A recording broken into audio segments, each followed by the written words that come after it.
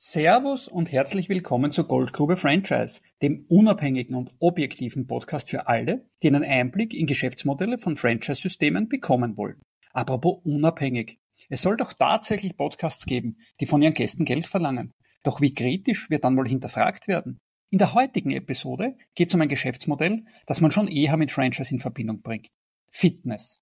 Michael Meder von Easy Fitness betreibt mit seinen Franchise-Nehmern 200 Studios in unterschiedlichen Größen und erklärt uns heute das Modell Premium Discount Studios. In früheren Folgen dieses Podcasts waren ja unter anderem schon Björn Krämer von FitPlus zu Gast, der uns die Welt von personallosen Fitnessstudios näher brachte. Übrigens die bisher meistgehörte Folge. Sowie Bernd Schranz von Rehabox, der die unglaubliche Zahl von mehr als 700 Partnern aufgebaut hat und sich mit Reha-Sport beschäftigt. Doch zurück zu Premium Discount Fitness. Was ist das überhaupt genau? Und ist der Markt nicht schon längst von McFit, Cleverfit und wie sie alle heißen, nicht nur G, sondern sogar übersättigt? Fitness ist offenbar mehr als Sport und Training. Fitness ist zum Zeitvertreib geworden. Wir lernen, warum Singles eine eigene Zielgruppe sind und, für mich höchst erstaunlich, Menschen mehr als ein einziges Abo für ein einzelnes Studio haben. Der Markt ist also offensichtlich größer als 100 Prozent. Sondern es geht eher darum, um den Place to be zu haben. Auch, dass EMS-Trainings noch ein Wachstumsmarkt ist, hat mich überrascht. In meiner subjektiven Wahrnehmung gibt es an jedem zweiten Eck ein derartiges Studio. Die Zeiten der ewig laufenden und quasi unkündbaren Fitness-Abos scheint auch vorbei zu sein. Spricht die nicht an, schreibt die nicht an, sonst kriegt ihr noch mit, dass wir bei dem abbuchen. Dafür ist der Markt zu hart geworden. Es darf halt nicht mehr darauf ankommen, ob ich den Kunden wecke äh, und ihn dann zu animiere zu kündigen. Riegel und Eiweißpulver sind kein so gutes Geschäft mehr. Da gibt's einen Influencer, der hat dann das, das, die neuesten Kapseln und so weiter. Ähm, das ist falsch, wenn man sich darauf im Studio ähm, fokussiert. Doch wo liegt die Zukunft von Fitnessstudios? Und wie entwickelt sich der Markt? Die Offenheit von Kunden gegenüber digitalen Lösungen, die ist gegeben. Kein Filialist, kein Unternehmer hat immer nur die Sonnenseite des Lebens. Bis zum Ende dran zu bleiben, zahlt sich aus. Denn dann versuche ich, in möglichst einfacher Form eine Art Mini-Businessplan so kompakt darzustellen, dass die wichtigsten Zahlen auf einen Bierdeckel passen. Die Bierdeckelkalkulation. Beim Thema Kalkulation noch kurz der notwendige rechtliche Hinweis. Weder mein Gast, das Franchise-System oder gar ich können für die Richtigkeit und Vollständigkeit der hier genannten Zahlen garantieren. Jetzt ist übrigens ein guter Zeitpunkt, um diesen Podcast zu abonnieren, ihm viele Sterne zu geben und weiter zu empfehlen. Servus, Michael Meder. Danke für Ihre Zeit. Seien Sie doch bitte so lieb und erzählen uns, was genau ist Easy Fitness? Ja, vielen Dank erstmal für den Podcast oder die Möglichkeit, auch mal unser System zu präsentieren. Äh, Easy Fitness ist eine Marke, die jetzt schon gewachsen ist über 15 Jahre. Ähm, und Easy Fitness ist ein Franchise-System. Wir haben Eigenbetriebe als Piloten und natürlich also als Referenzen. Und ähm, aber das Hauptaugenmerk ist im Franchise, mit dem wir auch arbeiten. Und da sind wir jetzt an die 200 äh, Filialen gewachsen, haben noch große Pläne, haben noch viel vor weil der Fitnessbereich ja genau in äh, Deutschland, aber auch weltweit am Boomen ist. Wie genau darf ich mir ein Easy Fitness vorstellen? Ist das die kleine Mucki-Bude, wie man in Deutschland sagt, am Eck, wo äh, schwitzende, aufgeblasene Bodybuilder, früher noch mit Anabolika vollgepumpt, still und leise vor sich hin trainieren? Sind das 5000 Quadratmeter große Wellness-Tempel samt Gegenstromanlage? Ist es eine Mischung wie schaut's ganz konkret aus? EasyFit hat begonnen im klassischen Premium-Discount-Segment. Das war 2008. Äh, ich habe damals eine Anlage übernommen und das haben wir als Konzept dann ausgebaut. Äh, da sind von mir persönlich dann von uns noch ein paar Anlagen dazugekommen. Und das war das klassische Pendant zum damals üblichen Premium-Fitnessstudio äh, mit einer Preisspanne von 40, 50, 60 Euro. Ähm, und äh, dann war der neue Fokus, der neue Business Case geschaffen äh, in der Branche. Der hieß damals Fitness ab 19,90 Euro. Dem haben wir uns auch angenommen. Und ähm, das klassische Premium Fitness Discount Konzept heißt natürlich Fitness für alle. Ähm, das hat es auch bewirkt. Also durch das äh, Fitness Premium Discount Konzept oder Discount allgemein wurde der Markt ja im Spektrum viel größer, weil viel mehr Leute bereit waren durch die geringe Einstiegshürde, äh, Entschuldigung, waren ja viel mehr Leute bereit durch die geringe Einstiegshürde sich dem Thema Fitness auch einfach mal anzuschließen und zu schauen, was das ist. Das ist natürlich ein Unterschied, ob man gleich mal 60 Euro oder 70 hinlegen soll oder 20 Euro. Bei uns geht es in einer ähm, guten Atmosphäre, Fitness anzubieten mit den, sage ich mal, Key Points an Fitness, was der Bedarf der Allgemeinheit auch an Menschen für ihr Training braucht, benötigt. Und das bieten wir an. Gute Atmosphäre, schöne Optik. Wie genau schaut jetzt so ein Easy Fitness aus? Alles, was Sie beschrieben haben, könnte ich mir genauso gut auf 250 Quadratmeter vorstellen wie auf 5000 Quadratmeter vorstellen. Könnte ich mir genauso gut nahezu personallos bis zum High-End-Service. Sie sagten Premium Discount. Es wird also nicht die High-End-Ecke sein, wo ich 24-7 den Personal Trainer habe. Und es wird auch nicht das personallose Studio. Wo genau befinden Sie sich? Das ist eine gute Frage, gut, dass Sie es ansprechen, weil Easy Fitness hat ein breites Portfolio, weil wir haben ja unterschiedliche Märkte vom Bedarf der Kunden. Äh, genauso gut äh, von den Franchise-Nehmern, also den Interessenten, die sich für Franchising und für Fitness als Unternehmertum interessieren. Wir bieten vier Varianten an. Die eine Variante ist ein richtiges Premium Easy Fitness. Ähm, das bedeutet, wir haben den Markt ab 50, 60 Euro aufwärts ähm, mit viel mehr Inhalten, die auch wie, wie Wellness wie, wie Wohlfühlen, wie Ambiente, Personal Training und so weiter. Dann das Klassische, was ich eben gesagt habe, ist natürlich das Premium Discount Segment. Training ab 24,99 Euro bieten wir an. Ähm, und das ist, sage ich mal, das Mainstream Studio, aber mittlerweile auch in einer guten Atmosphäre. Also halt nicht mehr so eine Holzhütte, wo so ein paar Geräte drinstehen und äh, dann sieh mal zu äh, da sind natürlich auch Mitarbeiter drin und äh, die äh, in der Betreuung tätig sind. Wir haben natürlich aber auch das personallose Konzept. Das heißt, für städtische ähm, Gegenden eher nicht, sondern eher für ländliche Gegenden, wo wir sagen können, wir haben als Ergänzung in kleinen Bereichen, wo vom Business Case das nicht möglich ist, bieten wir personallose Studios an ähm, um auch ähm, die breite Fläche abzudecken. Der vierte Bereich ist das EMS-Training, also elektromuskuläre Stimulation. Ähm, das bieten wir genauso an und äh, das bietet den Vorteil sowohl in der Flächendeckung für den Endverbraucher als auch für den Interessenten für Franchise, sich genau das auszusuchen, wo er sich drin sieht und auf der anderen Seite auch, was er abbilden kann. Der Fitnessmarkt wächst. Gibt es grobe Zahlen?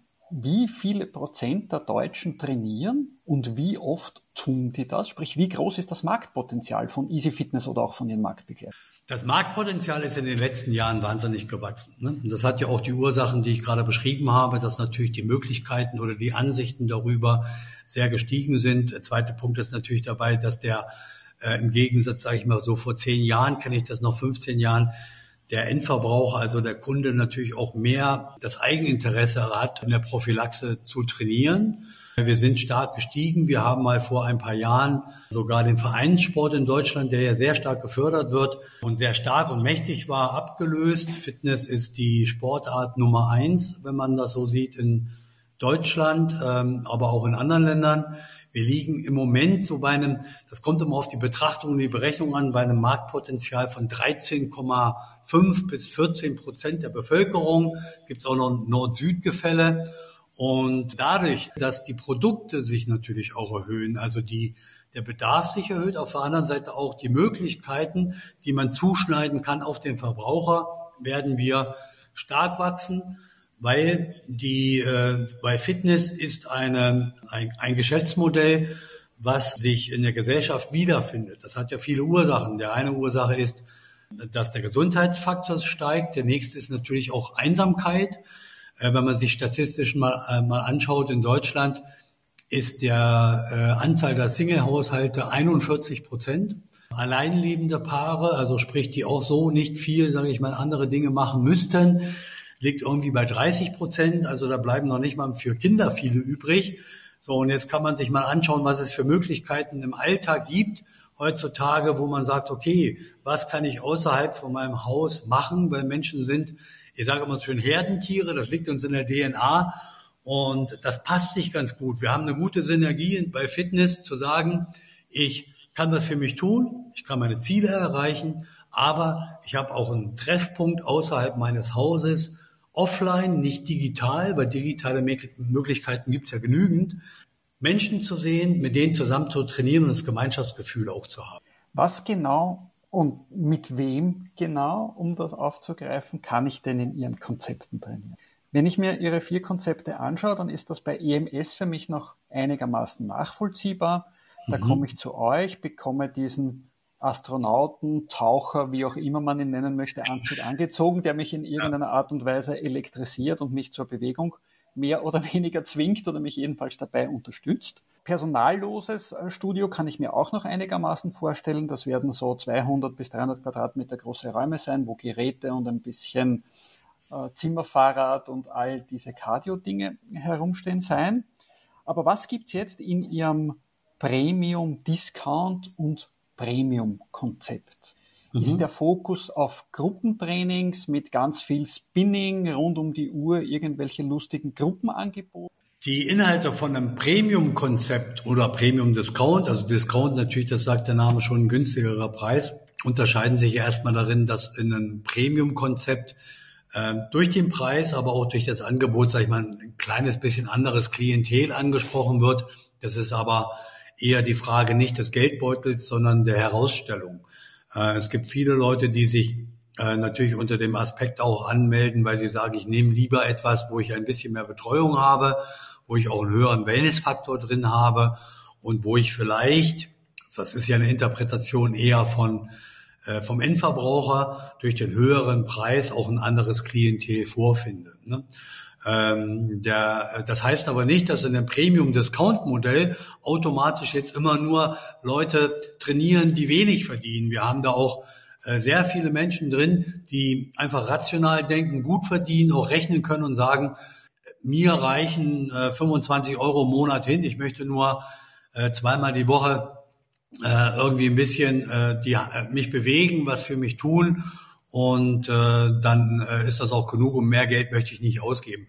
Also es hat auch so ein bisschen eine, eine äh, ja, wie sagt man das, so, so ein bisschen einen Unterschied auch in den Ansichten des Endverbrauchers, um beides darzustellen. Wenn man das jetzt mal vergleicht, ist ja die berechtigte Frage, äh, wenn Sie sich ein Auto kaufen, gibt es ja auch unterschiedliche Kaufverhalten und äh, Schichten. Und viele Menschen kaufen sich ein teures Auto nur, weil es ein Status ist können aber genauso damit nur fahren, wie sage ich mal, mit einem günstigeren Auto. Ähm, und ähnlich ist das natürlich bei den beiden Modellen auch. Man hat natürlich bei einem teuren Auto schon auch das eine oder andere drin, was man bei einer Basic, bei einem Auto vermisst. Ähm, bei dem Premium-Discount-Modell ähm, bieten wir, so haben wir uns ausgerichtet, darauf an, was ist der Bedarf der Kunden am meisten.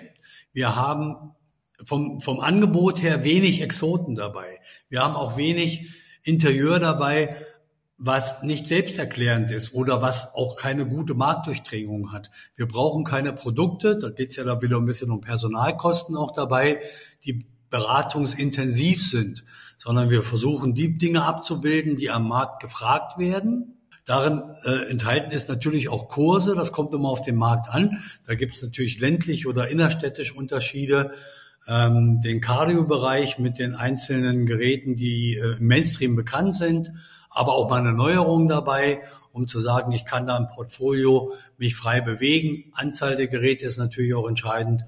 Und dann haben wir auch den klassischen natürlich, was Sie ansprechen, Muckibudenbereich.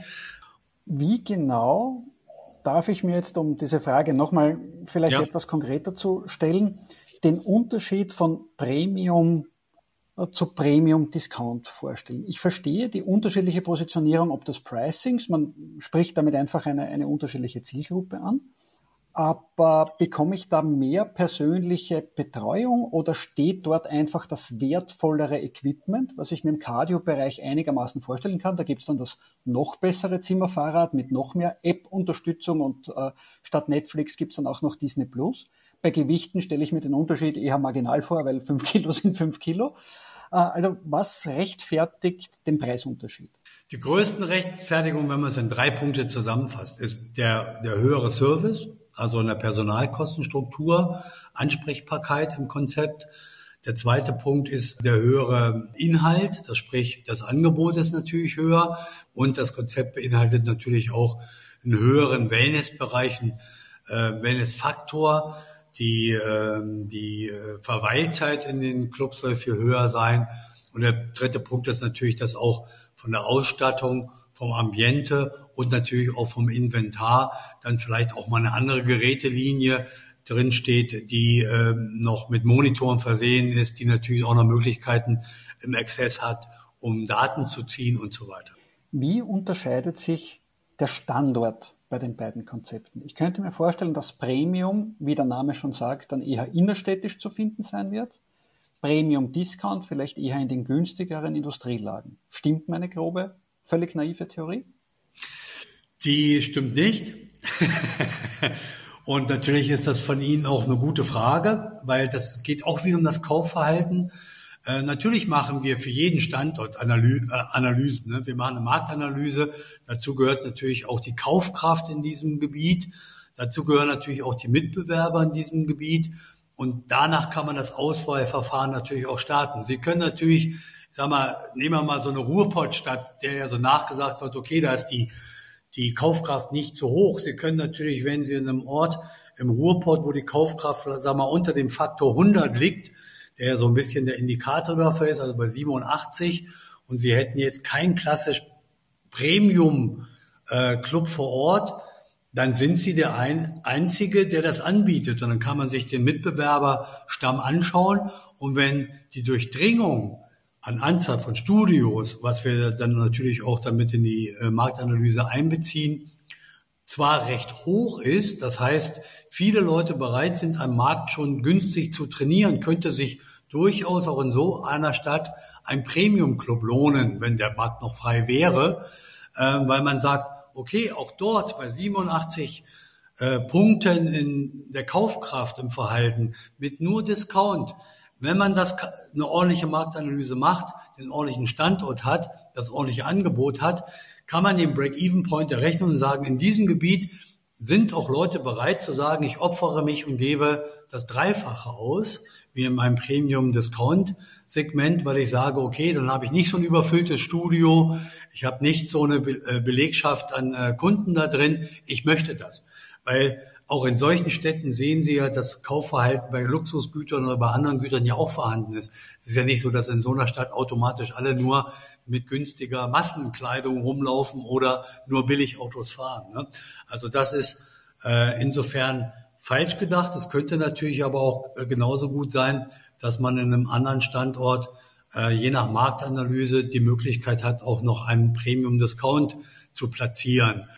Bleiben wir noch ein bisschen beim Markt und beim Marktpotenzial. Sie sagten, 13, 14 Prozent ist der insgesamt adressierbare Markt, sprich 13 bis 14 Prozent der Deutschen trainieren mehr oder weniger regelmäßig. Kann man so grob sagen, wie viel Prozent davon für das 1 zu 1 Modell, also EMS begeisterbar sind? Wie viel Prozent am Land wohnen, daher eher für ihr personalloses Konzept in Frage kommen? Und wie sich der restliche Teil aufteilt, wie, wie groß ist der Anteil der Bevölkerung, der bereit ist, einen Premium-Aufschlag zu bezahlen für dieses Zu Das kann man schon pauschal sagen. Das ist natürlich dann aber auch immer unterschiedlich. Es gibt ja jetzt nur das, was ich Ihnen sagen kann, was die Deutschlanddeckung angeht. Ne? Äh, da gibt es ja auch von die Leute-Studien, auf die ich mich da auch immer verlasse. Ähm, dann ist der größte Anteil natürlich im Premium-Discount-Segment zu finden. Da liegen wir um die 70 Prozent. Wir haben Einzelbetriebe im Premium-Bereich ähm, und äh, das ist, äh, sage ich mal, so ein Bereich von 15 bis 20 Prozent. Wir sind in den Bereichen EMS eher in einem starken Wachstumsmarkt. Das merken wir nicht nur bei uns im äh, Interesse ähm, und äh, in der Nachfrage, sondern auch, äh, wie die Situation am Markt mit Mitbewerbern aussieht, äh, weil es einfach umzusetzen ist. Das ist ein Wachstumsmarkt, der relativ gering zu den restlichen Prozenten das ist. Jetzt ist natürlich in der Statistik eins nicht enthalten, weil personallose Clubs werden dort nicht einzeln aufgeführt an sich, weil die personallosen Clubs ist ja so eine, äh, so eine Nische, die erstmal besetzt wird und nicht im Fokus äh, äh, abgeschnitten betrachtet wird. Ne? Also es wird so noch so ein bisschen in einen Topf geworfen. Ähm, die Frage ist ja auch für die Zukunft dabei, macht es überhaupt Sinn, das extra zu betrachten?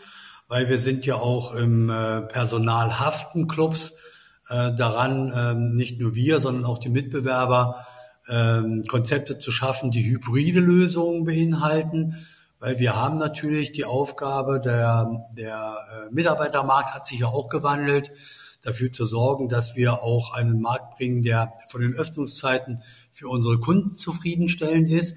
Damit wächst man natürlich auch in personallosen Gebieten, wie sprich auf dem Land, wo Personalkosten und Findung von Personal eine große Rolle spielt, viel stärker. Aber auch in den Städten sind natürlich die Mitarbeiter weniger daran interessiert, Schichten zu haben von 18 bis 24 Uhr oder morgens von 6 äh, bis äh, mittags, äh, sondern äh, die natürlich dann auch eher gucken, ob sie smart arbeiten können. Und das lässt sich über Hybride oder in dem äh, Beispiel dann auch personallose Lösungen auch in Zukunft viel besser abdecken. Werbung. Nicht nur ich, sondern Millionen Menschen nutzen Wikipedia jeden Tag für Recherchen. Wikipedia genießt hohes Vertrauen und mal ehrlich, wie oft hast du Fakten von Wikipedia schon hinterfragt? Doch ich nutze Wikipedia nicht nur passiv, sondern ich schreibe und überarbeite auch Artikel. Nach über 450 Artikeln weiß ich ganz genau, was man in Wikipedia unterbringen kann und was nicht. Du, dein Produkt oder dein Unternehmen in Wikipedia? Schreib mir einfach eine Nachricht an klaus at goldgrube-franchise.de und ich sage dir unverbindlich, was möglich ist.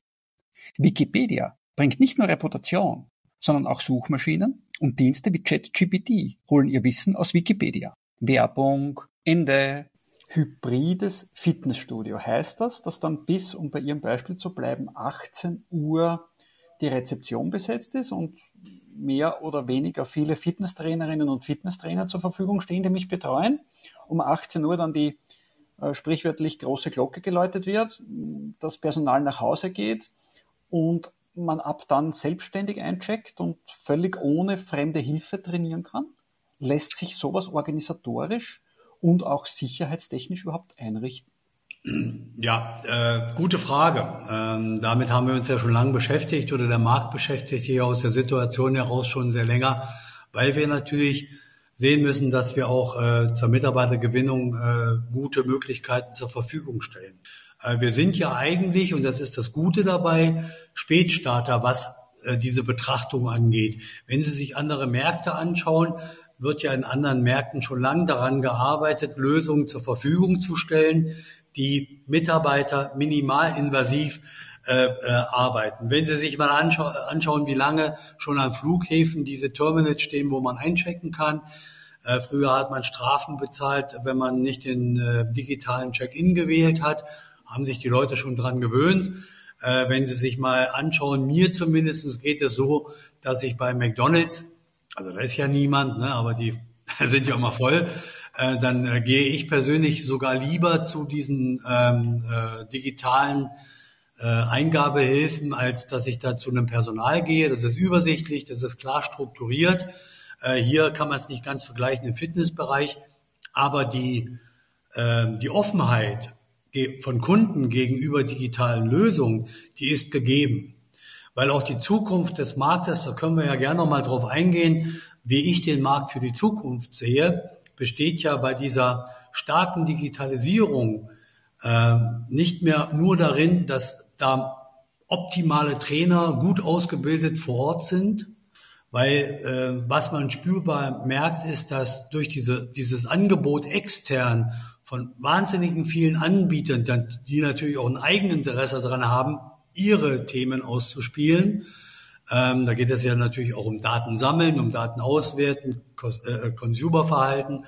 Äh, sieht man natürlich, dass Fitnessstudios ähm, sich im Laufe des Wandels nicht die sind, die im Inhalt dafür zur Verfügung stehen, das bestmöglichste Training abzubilden oder den bestmöglichsten Trainingsplan zu platzieren oder vielleicht sogar noch, wie ich das früher aus meinen äh, äh, Zeiten kenne, noch äh, auch noch einen Ernährungsplan zur Verfügung zu stellen in meinem gesunden Halbwissen, sondern es geht eher darum, um den Place to be zu haben mit den Möglichkeiten, die ein ähm, Kunde braucht, um das auszuführen, was er sich in der Eigenrecherche, in der Eigeninitiative sogar außerhalb des Clubs schon längst zugelegt hat. Kerngeschäft von Easy Fitness ist dann diese 70 Prozent des Marktes effizient zu betreuen und zu einem Preispunkt von, Sie sagten vorher, rund 25 Euro monatlich in den Büchern zu haben. Sind diese 25 Euro die Haupt- oder auch Kerneinnahmequelle oder gibt's da, wie ich mir von außen jetzt gut vorstellen kann, noch alle möglichen zusätzlichen Income Streams? Solange Personal da ist, müsste ich doch vom Fitnessriegel bis zum Energy Drink alles Mögliche verkaufen können. Ich müsste doch theoretisch, wenn auch in eingeschränktem Umfang, aber doch einen Personal Trainer verkaufen können. Da müsste es doch eigentlich eine Menge an Rundherumgeschäft geben. Stelle ich ja. als Laie mir das so einfach vor oder ist es tatsächlich so? Hm, das ist äh, das ist einfach, aber genauso kompliziert, wenn Sie Ihr Business ausrichten wollen. Natürlich ist das einfach, viele Assets und viele Angebote mit hinzuzunehmen, aber Sie dürfen nicht vergessen, umso mehr Angebote Sie mit reinnehmen, am Zusatznutzen oder Zusatzverkäufen, die müssen Sie trotzdem alle monitoren, die müssen Sie in einer gewissen Qualität bereitstellen und ähm, müssen Sie auch äh, in der, in der Service-Dienstleistung natürlich auch gut anbieten können. Ne? Das Kerngeschäft ist äh, in der Regel 95 bis 99 Prozent der Einnahmequellen geht es darum, dass man eine gute Atmosphäre bereitstellt und da die Menschen gut abholt und die trainieren können. Je nach äh, Ausgangslage ist es natürlich möglich, das eine oder andere Angebot mit reinzunehmen. Nehmen wir mal den klassischen Markt, den ich ja auch durch meine jahrelange, ähm, äh, durch meine jahrelange Zutun in der Fitnessbranche ich war jahrelang auch angestellt, ich habe das live erlebt. Im Offline-Markt, sage ich mal, war das noch was ganz anderes. Da hatte man seine Zulieferer, die haben dann so ein Studio bestückt. Da hat man die ulkigsten Riegel gehabt, äh, die man da anbieten konnte. Da hat so ein Ding da fünf Mark gekostet. Das gab's nicht im Supermarkt, das gab's nicht im Internet und so weiter. Ne? Ähm, also da konnte man natürlich sagen, lukratives Geschäft. Äh, Eiweißshake genauso. Wo wollte man sich den denn erwerben, wenn nicht im Fitnessstudio? Ne? Äh, da konnte man sich ein gutes, sage ich mal, einen zweiten Business Case aufbauen und durch Eiweißshake sogar über eine Deckungsbeitragsrechnung sprechen.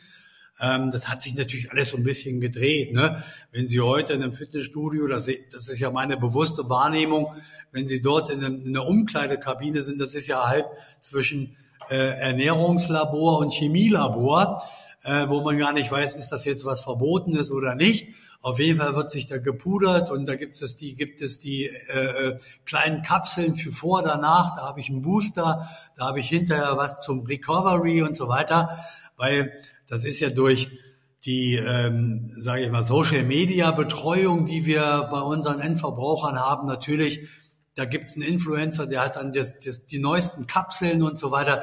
Ähm, das ist äh, falsch, wenn man sich darauf im Studio äh, äh, fokussiert, weil man dadurch schnell das Kerngeschäft verlieren kann. Das heißt, Mitgliedergewinnung, Mitgliederbetreuung und eine gute Dienstleistung anzubieten. Wenn man in so einem Riesenmarkt der im digitalen Bereich stattfindet, durch so viele Anbieter sagt, ich möchte da einfach mitspielen. Ne? Äh, die ganzen Diskussionen, die ich ja live miterlebe, wer, wer hat das beste Eiweißprodukt, wer hat die besten Supplements, die besten Riegel, das ist natürlich, da können Sie natürlich Mitarbeiter unwahrscheinlich in die falsche Ecke qualifizieren, wenn Sie denen jeden Tag äh, erklären wollen, das ist das Wichtigste, was du machen sollst. Also ist das ein Passivgeschäft. Wir bieten in unseren Anlagen Automaten an. Das ist so, das ist so Takeaway. Und eins zu eins Trainings oder Personal Trainings sind dann im Premium Discount Segment offenbar auch kein Thema. Das ist ein Thema, was äh, jeder Betreiber für sich unterschiedlich spielt. Es ist natürlich eine gute Aufgabe, wenn man das kann, wenn man selbst dahinter steht als Betreiber, sein Team zu fokussieren, darauf zu sagen, komm, wir machen es einfach mal so, wir gehen über die Trainingsfläche, wenn wir so, so eine Betreuung anbieten, dass wir dann auch noch sagen, du, du kannst da jetzt so ein Special haben. Ne? Also für 25, 30, 40 Euro kriegst du von mir eine Trainingsstunde extra.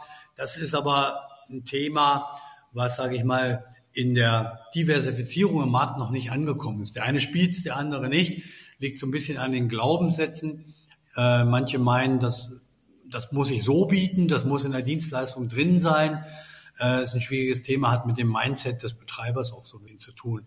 Grundsätzlich bin ich ein Befürworter davon, ähm, zu sagen, wir haben gerade deshalb, äh, weil es auf das Hauptthema einzahlt, nämlich auf Fitness und auf Betreuung, zu sagen, das stärken wir. Das wäre für mich ein fokussierteres Thema, ein ordentliches Personal Training anzubieten, als zu sagen, ich habe das ganze Portfolio von ordentlichen Supplements im Studio. Wie darf ich mir das Pricing vorstellen? Ihre Marktbegleiter von McFit bis zu Cleverfit und wie sie alle heißen, bewerben ja teilweise, so nehme ich als Endkunde das wahr, die Preise mit ab 1990, ab 24,90, ab 29. Das klingt für mich immer ein bisschen so, als wäre das so ein bisschen dieser, dieser dieses Log-Angebot und am Ende würde ich dann doch viel mehr zahlen, weil ich mich entweder bis an mein Lebensende verpflichten muss oder noch irgendetwas zusätzlich kaufen. Wie ist das bei Easy Fitness? Seid ihr transparent? Ist das eine wirkliche Flat Fee für alle? Wie ist das aufgebaut? Also das ist genauso, wie Sie sagen. Natürlich ist das bei uns im Markt nicht anders als in anderen Märkten. Dieses Abzeichen könnte auf der einen Seite, wie Sie sagen, natürlich symbolisieren, dass da irgendwo was dahinter versteckt ist, dass man nicht so genau mit raus will. Wir sind da transparent, aber trotzdem haben wir auch Abpreise, mit denen man in den Markt geht, weil man natürlich auch gemerkt hat, dass der Bedarf unserer Kunden unterschiedlich ist, um das einfach mal so ein bisschen abzugraden. Ne? Wir haben Leute, die sind, wir haben Menschen, die sind bereit, gegen einen günstigeren Preis zu sagen, okay, Agreement ist, ich nehme eine längere Laufzeit in Kauf. Manche möchten, manche möchten es äh, flexibler haben. Dafür haben wir eine monatlich kündbare Mitgliedschaft, die natürlich ein bisschen teurer ist, weil sie natürlich vom Pricing her, ich weiß nicht, ob der Kunde morgen oder übermorgen geht, also muss ich das ein bisschen mit einkalkulieren. Ne? Äh, und darüber hinaus gibt es halt Kunden, die sagen, ähm, das Thema Supplement mitbringen von eigenen Getränken und so weiter du, ich möchte einfach nur das Basic-Angebot haben, ab 24,90 oder oder. Ich möchte einfach nur reinkommen, ich möchte trainieren, ich möchte wieder rausgehen. Ich möchte keine Zusatzprodukte kaufen und auch keinen Zusatznutzen haben. Ähm, dann hat man natürlich Menschen, die sagen, ich bin bereit, gegen den Aufpreis auch andere äh, Angebote zu nutzen. Und so ist natürlich die Staffelung auch aufgebaut. Äh, so ein bisschen, sage ich mal, äh, das ist das Startangebot, da kannst du alle Geräte nutzen. Wir haben es ähm, transparent gehalten in dem Sinn, dass wir sagen, es gibt eigentlich nur immer den Grundpreis je Laufzeit und dazu kann man sich bei uns eine Flatrate buchen. Eine Zusatzflat beinhaltet dann für jemanden, der sagt, oh, ich möchte schon irgendwie alles nutzen, da ist dann für 7,99 Euro oder 9,99 Euro sind dann die Getränke mit enthalten. Da sind Wellnessangebote mit enthalten, also sprich Massage liegen, Solarium, da sind bei manchen das Zirkeltraining mit enthalten. Also das hat einen Zusatznutzen, den der Kunde wählen kann, aber nicht muss. Und das macht die unterschiedlichen Staffelungen aus. Ich habe auf Wikipedia gelesen, das sind 185 Filialen, die unglaubliche Zahl von 450.000 Mitgliedern betreuen. Gratuliere. Das heißt, dass Sie in jedem Ihrer Studios unfassbare zweieinhalbtausend Menschen trainieren. Wenn die alle gleichzeitig kommen, dann haben Sie doch ein Problem, oder? Wie oft trainiert denn der durchschnittliche Gast tatsächlich? Wir liegen bei einer, äh, bei, bei ich kann es ja nur bei uns sagen, bei einer sehr hohen Reaktionsquote. Jetzt muss man wieder auseinanderhalten, was meinen Sie mit tatsächlich? Weil trainierend regelmäßig einmal die Woche oder mehrfach ist natürlich eine Grundfrage dabei. Da müsste man ein bisschen ins Thema geben. Die meisten Menschen trainieren bei uns ein bis zweimal die Woche. Ne, das ist so der, das Kerngeschäft, sag ich mal. Ne? Was natürlich nicht mehr stimmt, da kann ich für die ganze äh, Branche sprechen. Die Branche ist ja aus dieser Muckibuden, äh, ich kenne das noch von mir selber als Kunden, äh, äh, rausgekommen. Meine Studiobetreiber, bei denen ich trainiert habe, die meinten früher, um Gottes Willen, spricht die nicht an, schreibt den nicht an, sonst kriegt ihr noch mit, dass wir bei dem abbuchen. Dafür ist der Markt zu hart geworden. Ne? Und dafür muss, muss man äh, dem Kunden auch mehr bieten, auch mehr Mehrwert, dass er trotzdem sich gut abgeholt fühlt. Also über äh, eine Newsletter und so weiter und auch über die Angebote. Das darf halt nicht mehr darauf ankommen, ob ich den Kunden wecke äh, und ihn dann zu animiere zu kündigen. Ähm, das ist nicht äh, der Inhalt. Also ich freue mich, so sind die Anlagen natürlich auch im Bedarf ausgelegt. Wenn ein Kunde mehrfach kommt, im Schnitt ist es darauf angelegt, äh, ein bis zweimal Training die Woche. Ähm, und ähm, die Anlagengröße, das hat sich auch verändert durch die Spezifikation der Geräte. Man, hat, man ist früher äh, in den 90er, 2000er Jahren ausgegangen, da hat man gesagt, wenn ich pro Quadratmeter Trainingsfläche einen Kunden habe, das war aber mehr Premium-Bereich, da bin ich glücklich, da geht man von ganz anderen Zahlen mittlerweile aus. Äh, da liegen wir bei eher vier Kunden pro Quadratmeter Trainingsfläche. Vier Mitglieder pro Quadratmeter. Das heißt, dass Sie in einem 2000 Quadratmeter Studio, wenn ich mich jetzt nicht verrechnet habe, 8000 Mitglieder begrüßen können. Wie sind denn so die Durchschnittszahlen? Und ab wie vielen Mitgliedern rechnet sich so ein Studio? Also wir haben solche Studios, mehrere sogar davon, aber das ist nicht der Schnitt. Ne? Sie müssen jetzt mal einfach ausgehen, das ist ja auch ein Business Case. Wir befinden uns ja bei Ihnen in einem Franchise-Podcast und deswegen ist es ja auch darüber wichtig zu sprechen, wie sieht denn jetzt eine Range aus. Ne? Sie müssen ja sehen, Sie haben ungefähr äh, für, wenn wir mal bei dem ähm, Premium-Discount-Konzept bleiben, haben Sie am Anfang natürlich ein bisschen höhere Kosten durch Leasing, Ablauf der Leasing. Da liegen wir bei einem Break-Even-Point von 1300 bis 1600 Mitgliedern.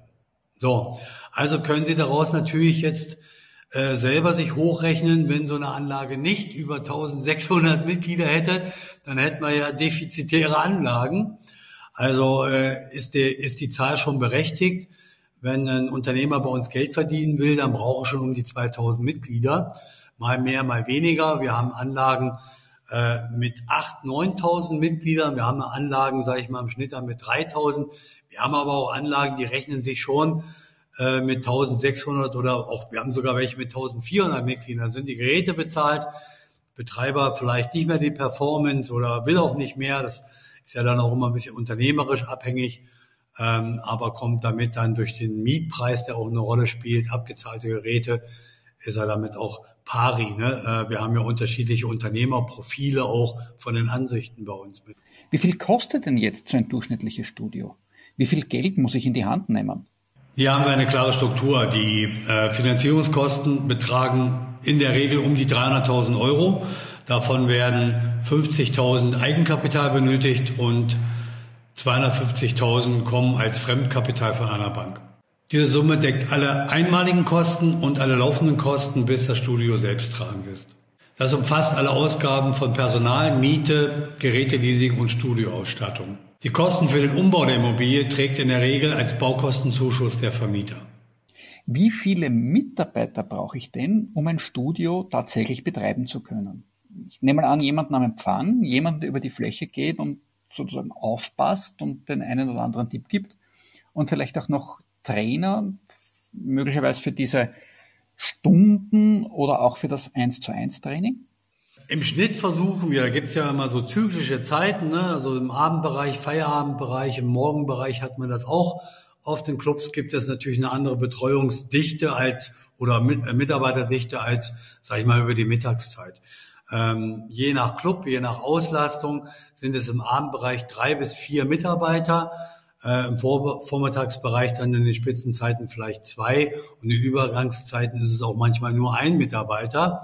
Ähm, aber man hat so im Schnitt, kann man sagen, in den Discount-Modellen fährt man natürlich das Modell, um das auch äh, Kosten minimiert zu fahren, mit ein bis zwei Festangestellten und mit vielen Aushilfen oder, und auch Studenten, ähm, das ist äh, mitunter bei diesem äh, Businessmodell, nämlich Fitness, etwas leichter noch am Markt zu finden als in anderen Berufen, ähm, aber trotzdem schwieriger als äh, bei reinen Bürojobs oder digitalisierten Jobs. Also wir liegen so gut in der Mitte in der Personalfindung, kann man sagen. Und äh, die Ausrichtung im Studio besteht, so sage ich mal, aus ein bis zwei festen Mitarbeitern und äh, der Rest äh, wird dann äh, zyklischen mit Aushilfen und mit äh, Auszubildenden abgedeckt.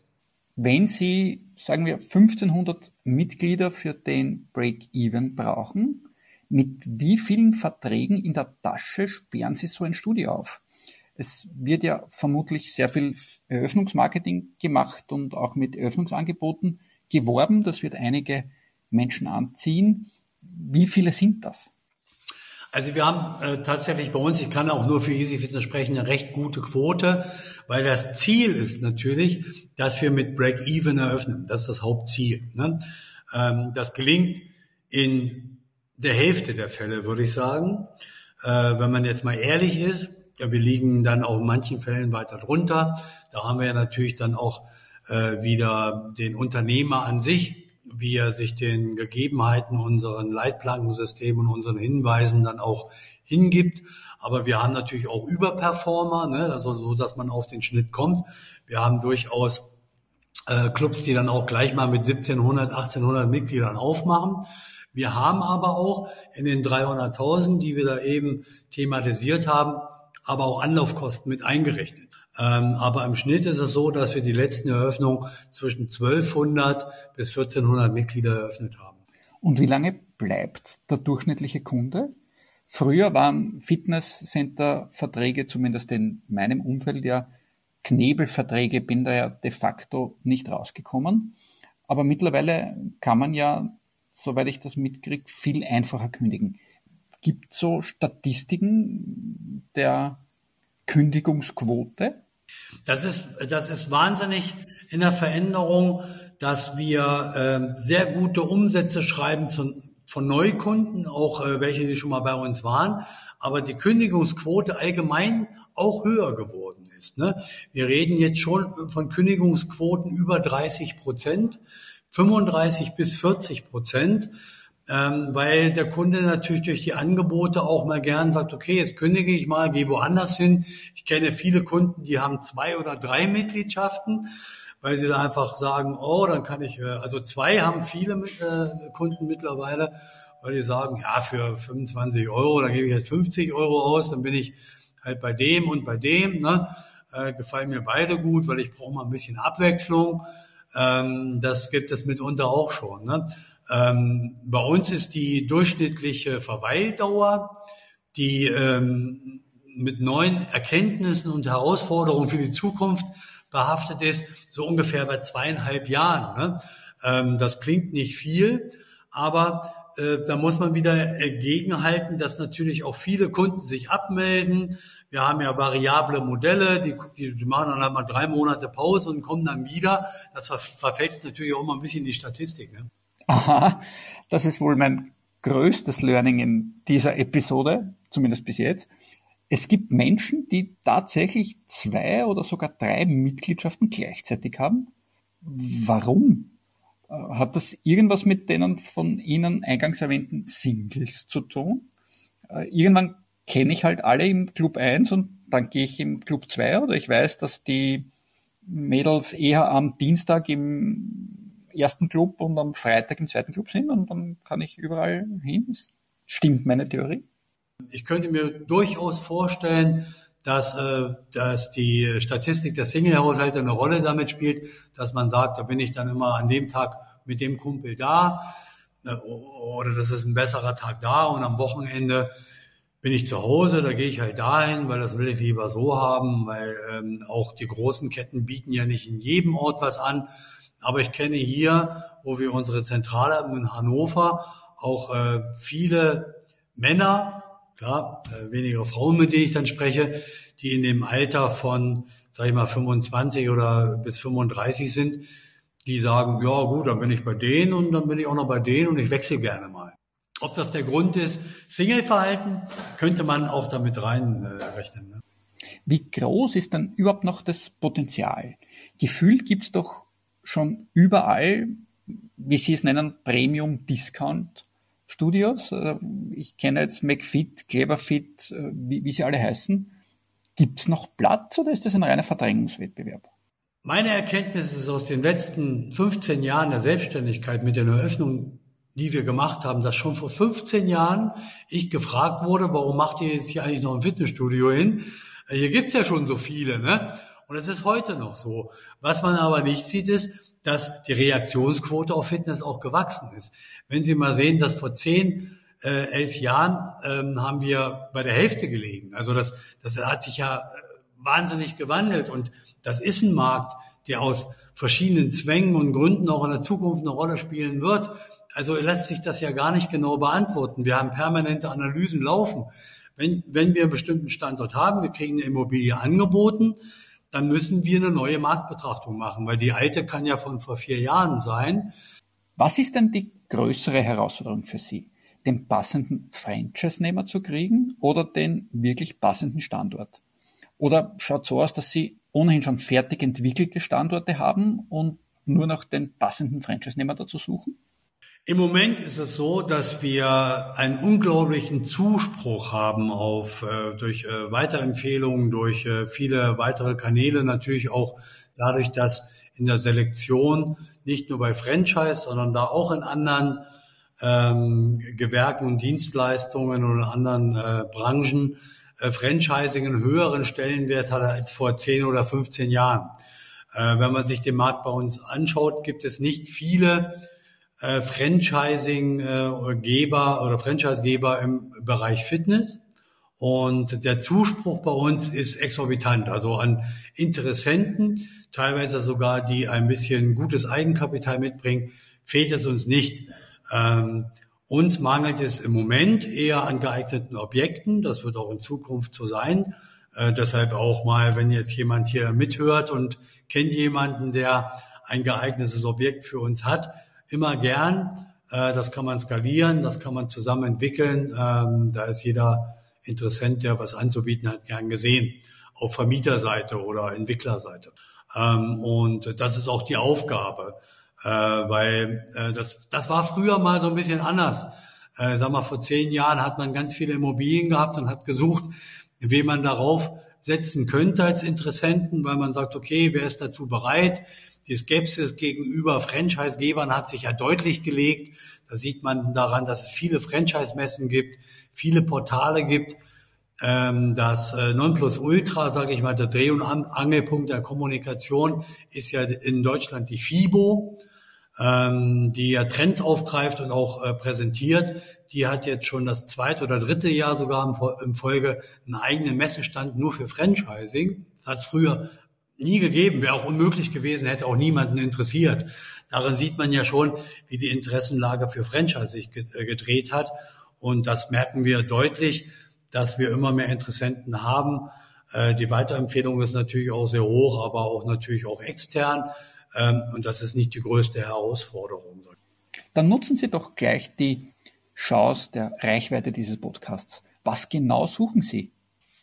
Wir suchen Flächen, äh, für, für das EMS-Konzept von 100 bis 350 Quadratmeter in der Stadt, natürlich auch in Kleinstädten. Auf dem Land ist das, glaube ich, eher so eine andere Geschichte. Wir suchen Flächen in Kleinstädten oder in Großstädten von 800 bis zweieinhalbtausend Quadratmeter. Äh, das ist das, was äh, wir am hauptsächlichen suchen. Wenn Sie, in, wenn wir in einer Randlage. Da gibt es bestimmt auch viele Interessenten für, die etwas anzubieten haben. Wenn wir jetzt unser personalloses Konzept sehen, was wir in Städten, sage ich mal, ab 5000 äh, Einwohner oder 3000 Einwohner schon spielen können, da gibt es wirklich viele Bestände, die frei sind, wo äh, Vermieter vielleicht im Moment gar nicht wissen, was sie damit machen sollen, weil durch die, der, der Einzelhandel geht zurück, äh, das zentralisiert sich mehr ins Internet und, oder in Großstädte. Da gibt es äh, äh, aus der Erfahrung auch, wo wir unsere Flächen herhaben, sind das dann doch kleine Einkaufszentren oder irgendwo in Ballungszentren in so einer Kleinstadt, wo man sagt, wo man sich kennt, da ist noch ein Restaurant daneben, da ist noch ein kleiner Supermarkt daneben und da steht dann halt so, ein, äh, so eine Immobilie leer, die hat 300 Quadratmeter, da war vorher vielleicht eine Post drin oder sowas. Ne? Äh, sowas suchen wir auch, weil das kann man sich über eine Marktanalyse dann gerne mal anschauen. Lassen Sie mich eine Milchmädchenrechnung anstellen. Sie haben 1500 Mitglieder bis zum Break-Even, die bezahlen dann alle ihre Kosten. Gehen wir jetzt mal von der in, den, äh, in der Wikipedia genannten zweieinhalbtausend Mitgliedern aus. 1000 Mitglieder, von denen jeder, sagen wir mal, 23 Euro, zuzüglich einem Upgrade von ja, 7 Euro, dann der Einfachheit halber 30 Euro. 30 Euro mal 1000 angenehme 30.000 Euro Deckungsbeitrag beziehungsweise vielleicht sogar Gewinn pro Monat. Denn die Kosten steigen ja nicht mehr so exorbitant. Klingt nach einer Goldgrube, ganz passend zum Namen dieses, dieses Podcasts. Kann das sein? Ja, in diesem Fall kann man davon ausgehen, dass es sich um eine Goldgrube handelt. Unser Businessplan sieht vor, dass man die 2500 Mitglieder nach fünf Jahren erreicht hat.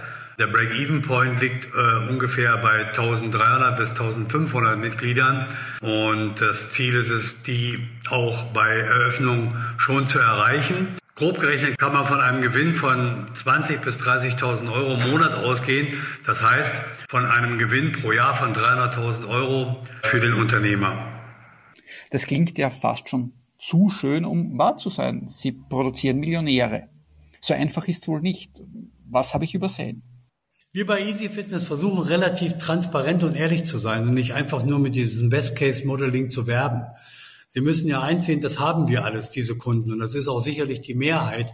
Aber einfach eine Träumerei aufzumachen und zu sagen, bei uns wirst du zum Millionär und bei uns kannst du die Riesenumsätze ein, einwerfen, da verscheue ich mich auch, weil das unsere Interessenten, aber auch unsere Unternehmer äh, vielleicht in so eine Leichtfertigkeit oder Naivität überführt, dass sie nicht sich dafür anstrengen müssen. Ähm, wir haben ja auch äh, äh, Unternehmer, die haben nicht so aufgeschlagen. Ne? Das hat verschiedene Gründe, äh, weil es ist ja auch schwer, sich an so als Unternehmer, wenn man äh, aus dem Angestelltenverhältnis kommt, wir haben ja Existenzgründer, sich da eins zu äh, grooven, sage ich mal, sich daran zu gewöhnen, äh, selbstständig zu sein und diese ganzen äh, äh, Uploads jeden Tag durchzuführen. Ähm, also wir haben natürlich auch nicht nur bei den Eigenbetrieben, aber auch nicht nur bei den Franchise-Partnern alles nur Gewinner. Da sind auch welche dabei, wo wir nachhelfen müssen, wo wir schulen müssen. Und es gibt auch welche, die bleiben auf der Stelle stehen. Das hat unterschiedliche Ursachen. Jetzt könnte man sagen, warum sagt er das? Jetzt macht er ja sein ganzes Konzept schlecht. Aber da bin ich ehrlich, ähm, das gibt es in keinem Konzept. Kein Filialist, kein Unternehmer hat immer nur die Sonnenseite des Lebens. Ne? Und das geben wir unseren Interessenten von, von Anfang an mit auf den Weg. Das ist mir auch super wichtig, um so ein bisschen den Anspannungsgrad zu erhöhen und zu sagen, das ist hier jetzt kein Lottogewinn, sondern das ist Unternehmertum. Lieber Herr Meder, vielen Dank für die Einblicke, nicht nur, aber insbesondere in die Welt vom Premium Discount Fitness. Hat Spaß gemacht und ich habe viel gelernt. Danke. Das kann ich zurückgeben. Es hat Spaß gemacht. Sie haben mich gut durch das Gespräch geführt. Vielen Dank für die Einladung, für die inhaltlich wertvollen Fragen. Und äh, das hat mir wirklich viel Spaß gemacht, einfach mal dabei zu sein. Wer jetzt mehr darüber wissen will, wie man sein eigenes Easy Fitness Studio eröffnet, der findet sämtliche Kontaktdaten von Michael in den Show Notes und auf www.goldgrube-franchise.de. Zur angekündigten Bierdeckelkalkulation. Ein Studio hat, laut Wikipedia, an dieser Stelle ein kleiner Hinweis an meine Werbung. Zweieinhalbtausend Mitglieder. Die erreichen wir laut Michael allerdings erst nach fünf Jahren. Dann machen wir eine Größenordnung von 65 bis 70.000 Euro Umsatz pro Monat, von denen uns 20 bis 30.000 Euro übrig bleiben soll. Das erscheint mir auf den ersten Blick unglaublich viel. Versuchen wir die angekündigte, sehr einfache Kalkulation. Wir mieten, sagen wir mal, 1600 Quadratmeter in nicht allzu guter Lage um hochgeschätzte 14 Euro pro Quadratmeter. Das allein sind schon 22.000 Euro pro Monat. Dafür nehmen wir aber an, dass Strom, Heizung und Klimaanlage schon inkludiert sind und dass der Vermieter für diesen relativ hohen Mietpreis einige Umbauarbeiten für uns vorgenommen hat. Wir haben sieben Tage in der Woche geöffnet und brauchen dafür Personal. Viel Personal. Auch hier bleibe ich mal vorsichtig und konservativ. Sagen wir mal 12.000 Euro. Auch wenn wir zweieinhalbtausend Mitglieder haben, wir müssen ständig neue Mitglieder anwerben, da wir immer wieder welche verlieren. Nehmen wir mal 5000 Euro für Marketing pro Monat an. Nicht zu vergessen sind die Reinigungskosten. 1600 Quadratmeter wollen ordentlich geputzt werden. Genauso brauchen wir einen Steuerberater und haben weitere Nebenkosten, wie beispielsweise die Versicherung. Die genaue Höhe der Franchise-Gebühren wollte uns Michael im Podcast nicht verraten. Ich gehe davon aus, dass die irgendwo im branchenüblichen Bereich liegen werden. Nicht zuletzt müssen wir unseren Kredit zurückzahlen. Hier erscheinen mir die erwähnten 300.000 als ziemlich optimistisch. Denn wir brauchen nicht nur einen Polster für die Anlaufverluste, sondern müssen wahrscheinlich auch die Fläche entsprechend umbauen. Und das kann sehr schnell sehr teuer werden. Wenn wir jetzt alle Kosten vorsichtig schätzen und addieren, dann sind wir in einer Region von, sagen wir, 50.000 Euro Kosten pro Monat. Und uns bleiben bei dieser Milchmädchenrechnung 15.000 Euro übrig. Mit entsprechendem Know-how und Unterstützung der Franchise-Zentrale lässt sich das sicher noch optimieren. Und dann nähern wir uns durchaus den von Michael genannten Zahlen. Wie einfach oder schwierig es ist und wie lange es daher dauert, die 1500 Mitglieder zu gewinnen, die man braucht, um kostendeckend zu sein, das ist wohl einer der größten Fragen und auch Risiken bei jedem Fitnesskonzept, nicht nur Easy Fitness. Am richtigen Standort und mit dem richtigen Durchhaltevermögen, das man im Übrigen nicht nur bei Fitness, sondern in jedem Unternehmen nicht nur haben sollte, sondern unbedingt braucht, ist das wohl ein sehr gutes Geschäft. Sonst wird es auch nicht so viele Filialen geben. Bitte vergesst nicht, auch diese Episode wo immer möglich zu bewerten und weiterzuempfehlen. Danke fürs